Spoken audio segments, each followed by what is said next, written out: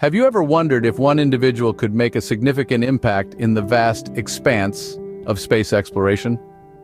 Today we delve into the story of Marcin, a young entrepreneur from Poland who dared to dream beyond terrestrial confines.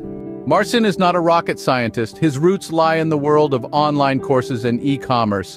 Yet he nurtures a dream, a dream to launch an agricultural satellite into space.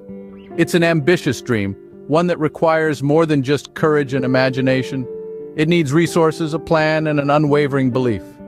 The story takes off when Marcin decides to leverage the capital from his online businesses to fund his space project. He takes a bold step, unveiling his plans on crowdfunding platforms, rallying support from a community that believes in the potential of Polish Space Initiative. Meanwhile, space exploration is experiencing a revolution. Groundbreaking innovations like Elon Musk's Echospace are driving down the cost of launching payloads into space. Marcin seizes this opportunity, aligns himself with the likes of geopolitical and space expert Dr. Jacek Bartosiak, who helps him craft a Polish space strategy. This journey is not without its hurdles. Marcin grapples with the complexities of technology, the challenges of funding, and the risks inherent in a space venture. He must navigate the labyrinth of geopolitical issues and international space law. Yet through determination, creativity, and community support, Marcin overcomes these obstacles.